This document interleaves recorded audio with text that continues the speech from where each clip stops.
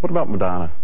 There's something about her that I don't like. She's mean. I, I don't like that. I mean, I remember having her over to my house a couple of times because Sean and I were friends, and she just was so rude to everybody that she acts like a spoiled brat all the time. And it seems to me when you reach the kind of acclaim that she's reached and can do whatever you want to do, you should be a little bit more magnanimous and a little bit less of a